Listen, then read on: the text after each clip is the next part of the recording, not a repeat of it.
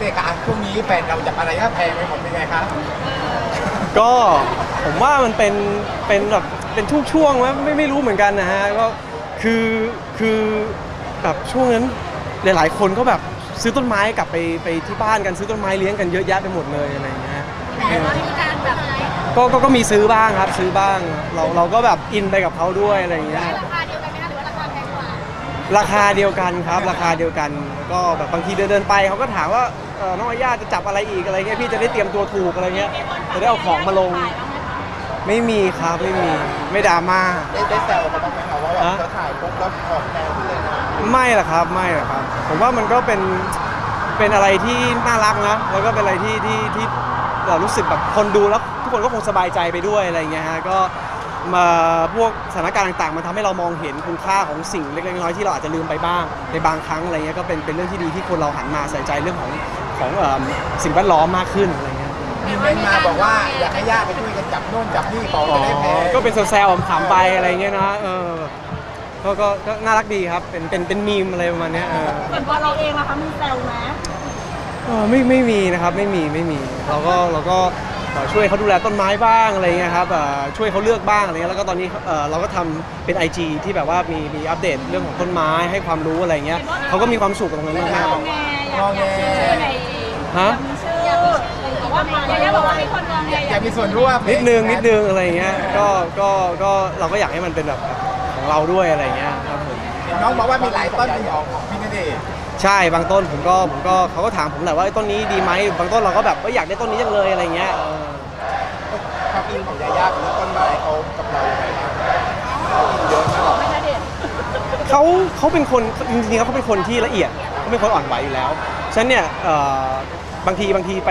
ไปแบบไปดูแลต้นไม้กับเขาเนี่ยเขาก็จะ คุยคุยกับต้นไม้ดูต้นไม้แบบดูแบบละเอียดเลยอะอ่าต้นนี้เขาจะรู้หมดว่าแบบเอ่อเนี่ยตรงเนี้ยมีแบบแตกยอดมาแล้วอะไรอย่างเงี้ยอ่ายอดอ่อนออกมาแล้วอะไรอย่างเงี้ยคือคือจะเป็นคนที่ที่ทำอะไรแล้วจริง ๆ ก็จริงจังด้วยอะไรเงี้ยไม่ใช่แบบเอิ่มตามกระแสแฟชั่นอะไรเงี้ยไม่ใช่ แล้วเห็นเขาอยู่กับสายตาแล้วรู้สึกยังไงบ้างน่ารัก เราก็เห็นแล้วก็เราก็มีความสุขเนอะก็ก็ก็เหมือนทุกๆคนอะผมว่าบางทีเราเห็นแม่เราคุยกับต้นไม้อะไรเงี้ยเราก็ไม่เข้าใจหรอกอะไรเงี้ยเออจนมันวันหนึ่งที่เราเอ่อดูแลเป็นของเขาเองอะไรเงี้ยเรากลับเป็นห่วงเรากลับอยากให้มันโตรอดูวันดูคืนว่ามันจะแบบออกดอกไหมออกออกใบขึ้นไหมอะไรเงี้ยมีความสุขดีอะ ต้นแพงกว่าซื้อมากี่หลักกันได้เด็กโอ้เออก็ ก็มี มีหลายราคานะครับ ผม มีหลายราคามีหลายราคา แต่ว่า ผมว่าจริงๆแล้วก็ไม่แตกต่างจากคนอื่นหรอกครับอืมเราก็ซื้อในราคาเดียวกันอยู่แล้ว มีความเห็นไม่ตรงกันบ้างไหมเนี่ยว่าตอนนี้น้องอยากได้แต่เราบอกพักไว้ก่อนเลย ไม่ไม่มีไม่มีไม่มีไม่มีตัดใจเขาไม่มีไม่มีใช่ตัดใจเขาเราเราก็รู้สึกชอบด้วยอะไรเงี้ยถ้าถ้าเขาชอบอะไร มี80ต้นพื้นบ้านนี่คือแน่น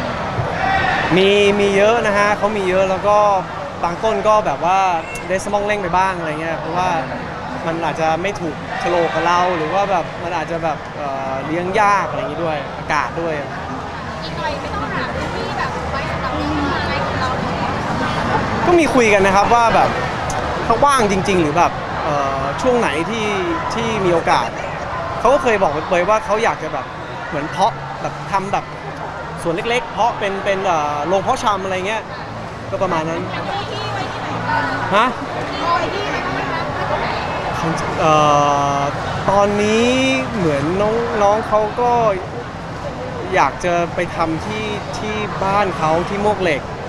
เขาจะมีที่ตรงหนึงอะไรเงี้ยแต่ว่าจะปลูกอะไรเดี๋ยวให้เขาเป็นคนบอกเองดีกว่าอะไรเงี้ยแต่ก็มีที่ขอมีงที่ของยาย่าใช่ใช่ที่ที่จะซื้อร่วมกันซื้อร่วมกันไว้อะไรต้นไม้ไปด้วยกันมีพื้นที่เอ่อวางด้วยกันอะไรอย่างทำได้เงี้ยก็คงก็คงถ้า ถ้าถ้าต้องลงทุนอะไรขนาดนั้นก็ต้องมาดูก่อนว่าผลกำไรจากการขายต้นไม้จะตอบโจทย์หรือเปล่าใช่ไหมเออแต่ถ้าทำเอาเอาสนุกเอามันก็เล็กๆน้อยๆพออ่าไม่ต้องแบบโอ้ยเราอะไรเพราะเรารู้ว่าแบบฮะหนอนในบ้านของเราในบ้านเราเดี๋ยวเดี๋ยวเดี๋ยวต้องต้องต้องไปดูต้องไปดูก่อนซื้อเป็นที่เรือนหอเลยเป็นหอเลยอะไรอย่างเงี้ยยังยังยังยัง แต่ล่าสุดอะงั้นอีกประเด็นหนึงอะเขาให้เขาให้มาถามเราอยากจะเดชเราถามว่าเราคุยแฟนว่า ผู้หญิงทุกคนก็มีความรู้สึกว่าอยากเอาโมเมนต์นั้นอะไรอย่างนี้จริงๆเอ่อผมก็มีความตั้งใจไว้อยู่แล้วอะไรเงี้ยนะครับ ก็แต่ว่าเราก็คงก็คงเป็นเป็นเรื่องที่ที่มันจะถึงเวลา มันมันก็ก็จะใช่อะไรเงี้ยแต่จริงๆแล้วมันมันมันพรังพรูอยู่แล้วแหละในความรู้สึกก็เราก็มีคุยกันบ้างอะไรเงี้ย แต่ว่า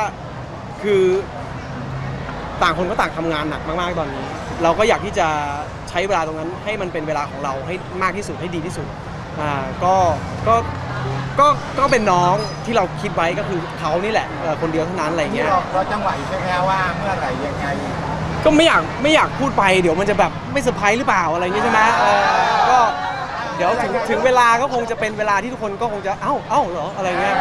แต่เดี๋ยวแสดงว่านี้นี่ฮะ moment นี้มันก็เป็น moment แบบอยากแต่งแล้วอะไรอย่างเงี้ยผมว่าคนที่ ที่คบกันหรือว่าอยู่รู้จักกันมานานมันมันมันมันต้องมันต้องมีคุยบ้างแหละ เรื่องพวกนี้อะไรอย่างเงี้ยนะฮะเพราะว่าเราก็โตโตๆกันแล้วนะแต่ว่าเราก็ต้องดูอะไรที่มันแบบ คือเราเป็นคนที่ที่ที่คุยกันทุกเรื่องอะแล้วก็ถ้าสมมติว่ามันถึงเวลาที่แบบเฮ้ยมันคือเวลาช่วงเวลาจริง ๆ ที่มันเหมาะสมอะเราเราก็เราก็พร้อมที่จะที่จะทำทุกอย่าง ณวันนี้มันถือว่าพร้อมที่จะมีครอบครัวแล้วอะไรอย่างเงี้ยเราถือว่ายังต้องขาดอะไรอีก มันมันเป็นความฝันเหมือนกันนะครับ เราก็คุยกันมันเป็นความฝันที่ที่แบบโอ้โหสวยงามมากๆนะครับ แต่ว่าเราก็ต้องทำงานคือตรงเนี้ยมันทำงานมันติดงานไงละครก็สองเรื่องแล้ว ถ้าถ้าถึงวันนั้นจริงๆแล้วจะเอาเวลาไหนที่จะไปแบบเออ enjoy จะไปฮันนีมูนกันอะไรนี้มันก็นะมันก็ต้องอีกอย่างหนึ่งแสดงแสดงว่าถ้าแต่งงานก็คืออาจจะลดงานลงเลยเออผมว่าหลาย ๆ อย่างมันคงเป็นไปตามตามตามจังหวะมากกว่าอ่าเราก็เราก็แค่ทำทุกอย่างในความรู้สึกที่เรา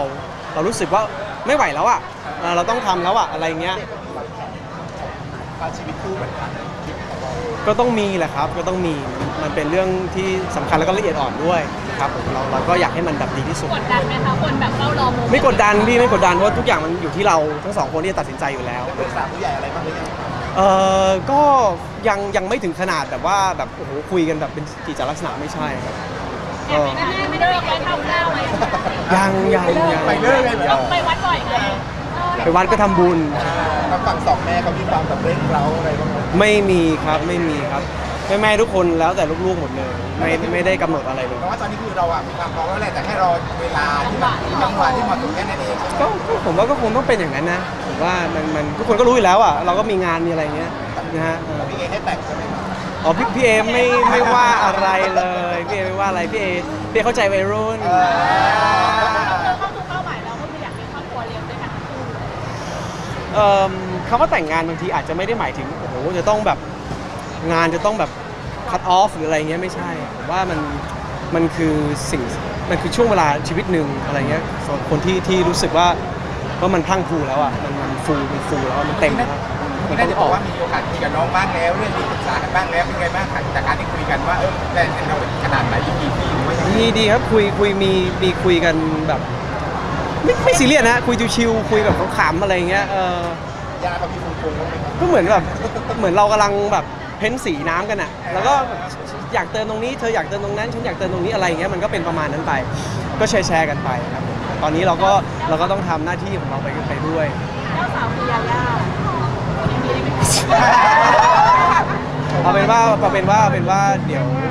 ก็ก็ก็ทุกคนก็คงรู้ว่าก็ ทุกวันนี้เราก็มีความสุขกันมากๆ แล้วเราก็ไม่ได้ไม่ได้ปิดไม่ได้อะไรแล้วนะครับผมแล้วก็ถ้าถึงเวลาทุกคนก็คงจะก็คงจะได้รู้ณเวลานั้นนะครับผมอะ